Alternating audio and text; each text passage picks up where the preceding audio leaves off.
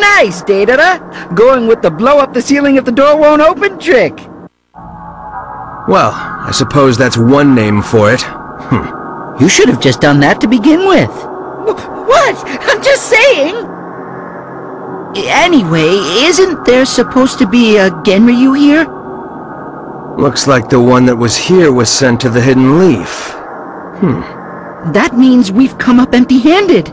That's okay. I've confirmed other places we might be able to find them. Oh, so you weren't just flying around for fun?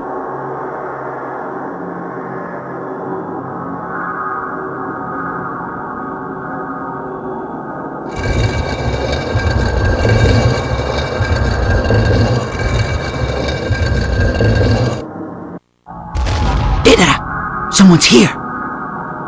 Those clothes. You must be. Do you look familiar? Oh, Itachi! That's who you look like! That would mean that you're Sasuke! Scary! Orochimaru lost to a brat like this? I still can't believe it. Hmm. He's got a great glare, though. I'll have to apologize to Itachi later. Sharingan, huh? This kid is definitely Itachi's brother. You think you're better than me just because of your bloodline? He's fast. Eh? One down. You like to talk so much. Tell me about Itachi. You.